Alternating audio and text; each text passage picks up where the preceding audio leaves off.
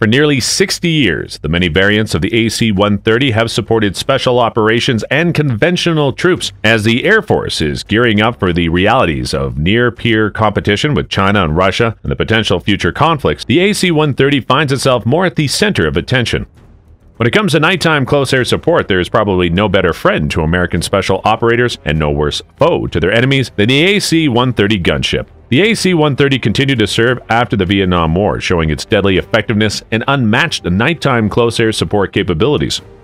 The aircraft's powerful arsenal and sensors make the AC-130 a versatile platform that can dish out a rain of fire and then send back vital intelligence to troops on the ground next. The AC-130J Ghost Rider, which is the latest version of the gunship, is armed with 30mm and 105mm cannons and can deploy smart munitions. The most modern AC-130s have a top speed of more than 450 miles per hour and a range of about 3,000 miles.